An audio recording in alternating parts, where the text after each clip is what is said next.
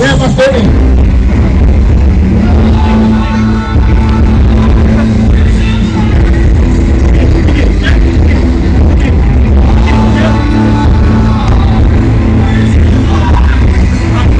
Saya berikan bola-bola yang masuk jurus-jurus ini.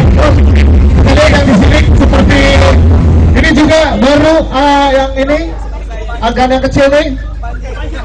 Dia baru